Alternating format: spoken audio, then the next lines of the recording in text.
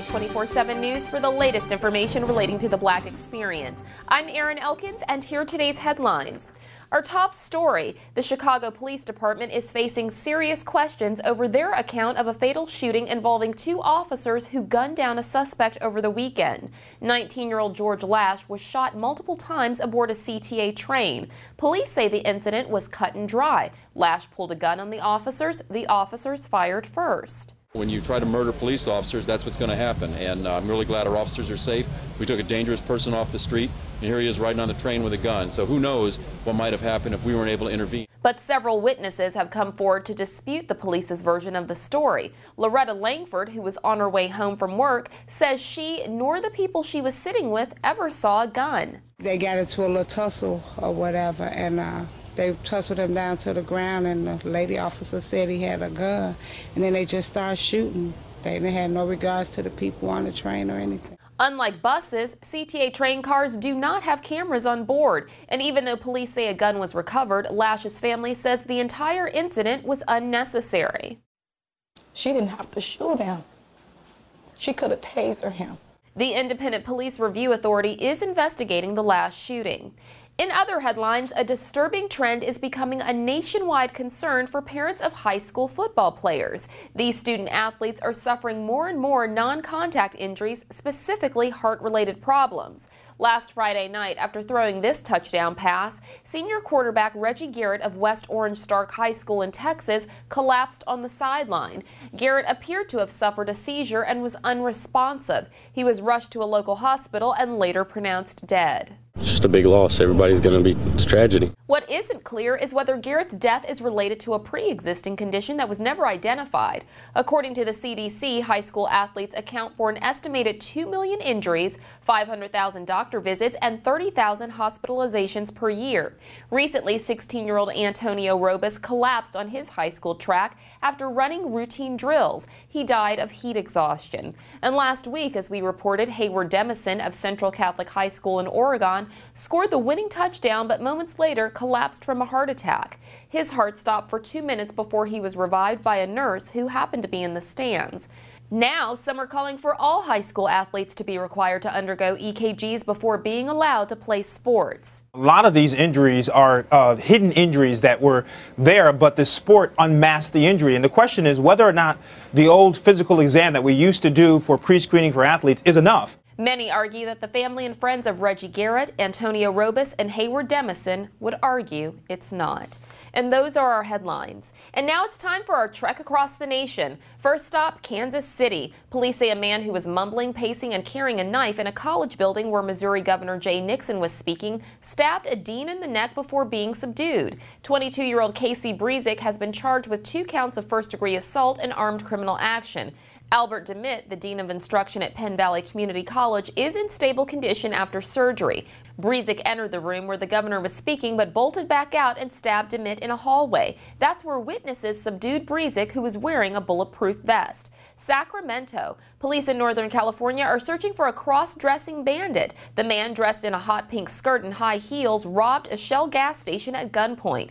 The suspect cleaned out the register before shedding a skirt and shoes while fleeing the scene. Police say nobody was hurt and that they're still looking for the suspect. Surveillance video even shows the suspect strutting around outside the gas station before the robbery. Southfield. A two-year-old Michigan girl is in critical condition after she fell from her ninth floor apartment window. Police said the girl managed to push open the window screen and step onto the balcony before plunging into a garden off a sidewalk. A witness saw the child fall and ran to her aid. Chris Thomas said the two-year-old, quote, was laying on the ground and her leg was bent backward and she was crying really bad. The young girl was rushed to Beaumont Hospital where she is in critical but stable condition.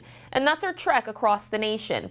And now on the international front, Mogadishu. Somalia's president is traveling to Uganda for talks on security issues at a time of political upheaval in his country. Somalia's Ministry of Information said that President Sheikh Sharif Sheikh Ahmed would confer with his Ugandan counterpart on ways Kampala can help Somalia restore security so the government can deliver services. Uganda is one of two African countries with troops in Mogadishu to help protect the weak, UN backed government from powerful Islamist insurgents. Somalia has not had an effective government for 19 years. Nairobi. An international human rights group says Ugandan police have arrested two Kenyan activists working with suspects accused in bombings that killed 76 people in Uganda's capital during the World Cup final. Human Rights Watch said Al Amin Kimathi of the Kenyan Muslim Human Rights Forum and lawyer Mbugua Muriithi are in police custody. The rights group says in a statement that the pair risk being tortured by the rapid response unit that arrested them. They say that the unit has a history of human rights abuses. A police spokesman said the two were with a wanted member of a Somali militant group when they were apprehended. The Somali group Al Shabaab claimed responsibility for the Ugandan bombings in July. And that's a look on the international front.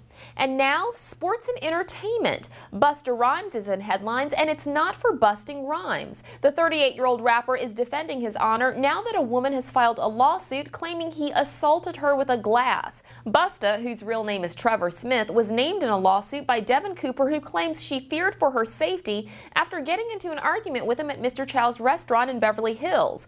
In the suit, Cooper claims she and a friend were dining at the establishment when a member of Rhymes' entourage complained that the pair was sitting too close to the rapper's table. Cooper says she tried to move her chair, but says Busta's accomplice became increasingly agitated and the situation escalated until the rapper threw a drinking glass at her that missed her by inches. Cooper is seeking $250,000 in damages for assault and battery. Hmm. I wonder how much she would have asked for if the glass actually hit her. When T.I. and his wife Tiny were arrested in Los Angeles earlier this month, police originally charged them with possession of a controlled substance, a substance that was later revealed to be ecstasy. But that may not have been the only drug in their possession. According to documents obtained by E! Online, T.I.'s probation officer reported that L.A. County Sheriff's deputies also found codeine and marijuana in his possession. In the initial report filed after the couple's September 1st arrest, deputies said they pulled over their Maybach and then smelled a strong odor of marijuana emitting from the vehicle. After T.I.'s arrest, TMZ posted photos that showed several styrofoam cups in the cup holders. The website alleged that the cups contained sizzurp, aka codeine syrup. See, T.I. should know, sipping on that sizzurp, sizzurp, sizzurp, it'll get you every time. A promotional television advertisement has outraged several African American former stars of Australia's National Basketball League who said a scene featuring a black player hopping into bed with a white couple is insensitive and racist. Here's a portion of that commercial. They're shooting the lights out Andrew.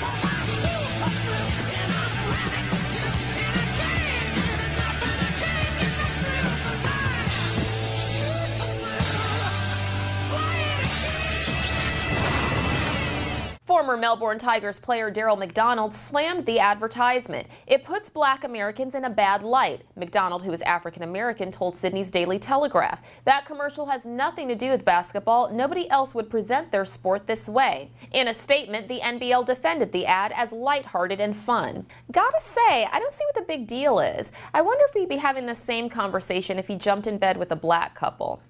I don't know. Either way, that's my rep for sports and entertainment. And now, on this day in black history, legendary track star Florence Griffith Joyner died in her Santa Monica, California home. She was 38. FloJo, as she was affectionately called, was known for her trademark fingernails and her blazing speed. She captured three gold medals in the 1988 Seoul Olympics to bring her career Olympic medal count to five. Still considered the fastest woman in the world, she holds world records in both the 100 meter and 200 meter sprints. Unfortunately, FloJo couldn't outrun her unseen unseen killer, epilepsy. Florence Griffith Joyner died quietly in her sleep on this day in 1998. Well, that's it for us here at Black TV 24 7 News. For more information on the stories covered during this newscast, please visit us at blacktv247news.com and click on the story links. Until tomorrow, I'm Erin Elkins. Have a legendary Tuesday. And remember, you can catch us online 24 7.